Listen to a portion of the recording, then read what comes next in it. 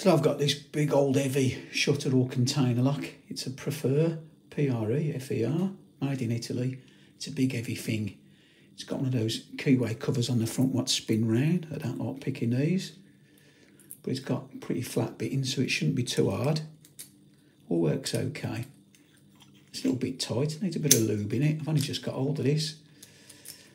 So to pick this we're going to use a Z wrench or Z bar because like I say you need quite a long tension tool to get past that spinny keyway cover. So we'll put that in there like that.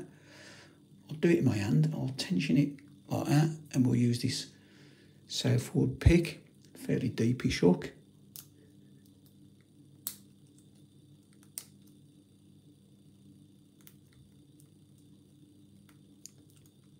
I've seen other people pick these quite quick.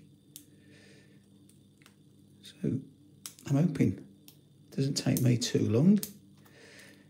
It's a lot easier to do in the vice, obviously, because it's quite a big, heavy lock.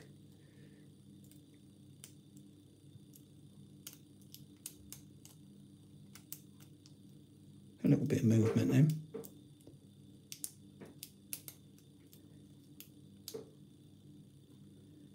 I'm holding it a bit caggy-handed here and there.